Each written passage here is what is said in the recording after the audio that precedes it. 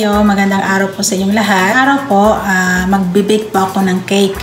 So itong cake na to ay ibibigay ko sa aking uh, anak ng aking friend. Birthday niya kasi. So ngayon na ipag-isipan ko na gagawa ko ng video. Yung birthday cake na to ay uh, napakasimple lang po ito. At uh, ito ay tinatawag ko na sour cream cheese. So ngayon, uh, ito guys, uh, bago ko ipapakita sa inyo uh, kung paano ko siya lulutuin, ipapakita ko po muna sa inyo itong aking uh, ginawa na. So ito na po yun siya. Ayan. Uh, next time na lang po, uh, ipapakita ko sa inyo kung paano ko po siya gagawin ito. Kasi, kasi po medyo fake time lang siya gawin at saka napakahirap po. So ngayon, ito lang muna ang ipapakita ko sa inyo at saka tingnan nyo, napakaganda po ng kulay ng aking uh, sour cream cheese. So mamaya, uh, ikakat ko ito. Ipapakita ko sa inyo kung ano yung na ang ganda ng kanyang nasa loob. Alin na kayo at turuan ko po kayo kung paano ko po ito ginawa. Ginamit ko muna yung oven ko, uh. And then, uh, I will show you uh, for the crust. So, and then I have uh,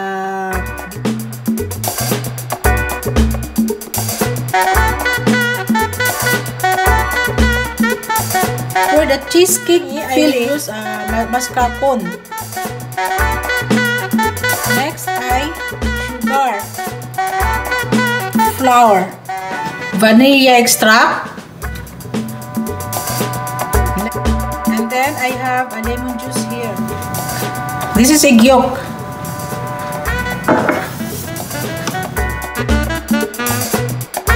Our toppings, uh, I will use also a sour cream and then also a little bit of sugar. The lemon juice. Now I have a blender here.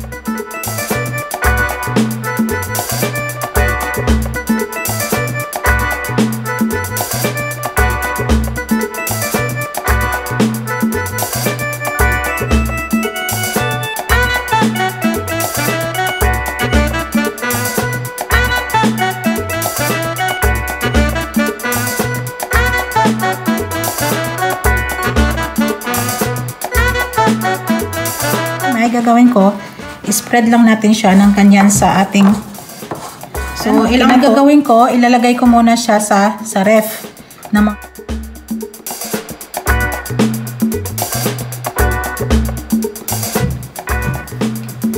Now, uh, we will proceed to make our cheesecake.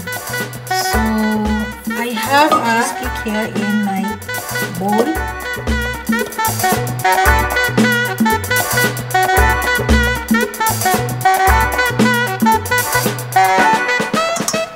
For the next.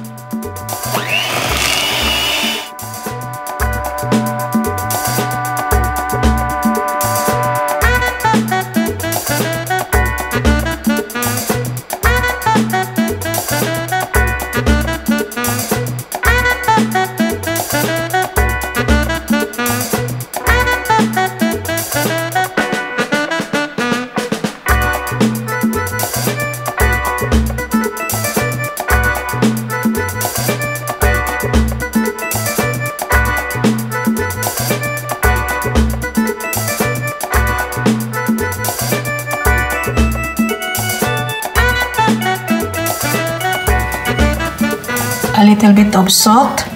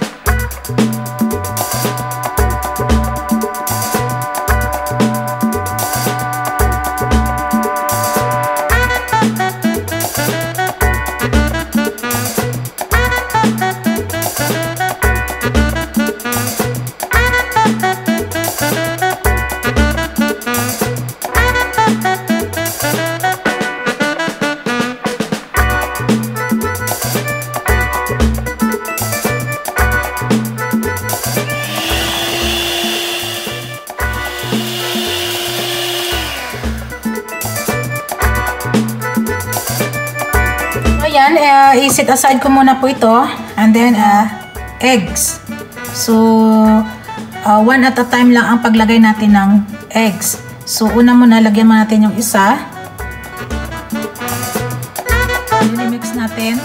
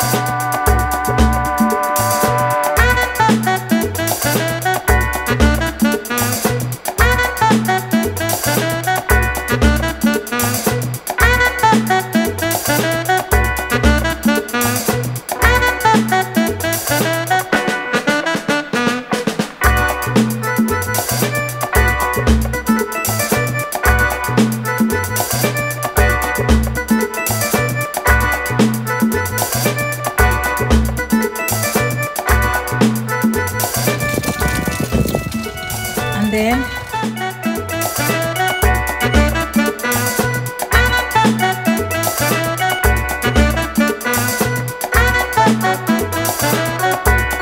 ay yung ating toppings. So ngayon, ito yung natira natin na sour cream.